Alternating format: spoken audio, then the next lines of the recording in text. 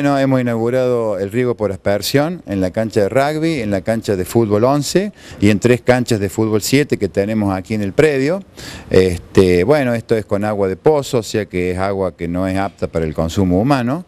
Y bueno, eh, nos va a permitir este, a través de 63 aspersores que hemos puesto, 24 eh, en cada uno de los tres espacios, eh, bueno, poder tener este, realmente mucha categoría en el riego y poder a través de un comando de programación distribuir el horario y la duración de cada uno de, estos circuitos.